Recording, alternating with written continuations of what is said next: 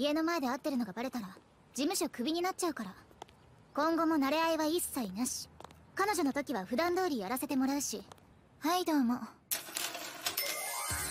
じゃあ行こっか。千鶴姫また和也？こんなところで何してんの？壺とか売りつけたければよそで。ちょお前ら違うっつの。大丈夫だ。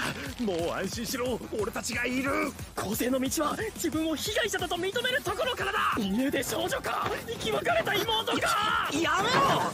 お俺も彼女に。失礼だろ。彼女？彼女？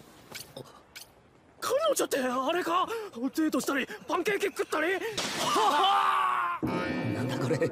超気持ちいいセックスしたのかって聞いてんだよ！やってはねえけど。偉い！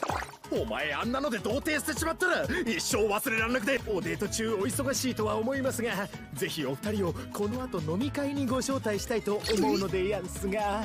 飲み？今から？ちょうど飯食おうって話してたところさ。よーし決まり！ささ彼女さんも